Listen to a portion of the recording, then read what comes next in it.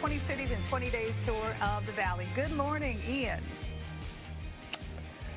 Good morning, Yetta. We've been kind of thumbing through the Wigwam's uh, website. Look at these pictures back from the 20s when this place first got its start.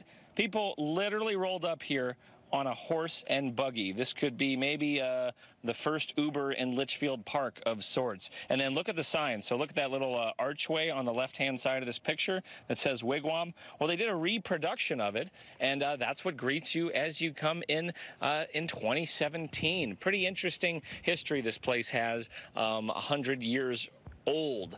And Litchfield Park, a rich history as well. First started as kind of a company town for uh, the Goodyear Tire Company, and then Luke Air Force Base blossomed. A lot of military folks lived here, retired here. A small little town, but uh, the area is kind of dotted with palm, palm trees, and it's a quaint little place with nice, nice little cafes and old adobe uh, structures here and there. So pretty nice, nice town, and uh, nice to be out here on our 20 cities in 20 days.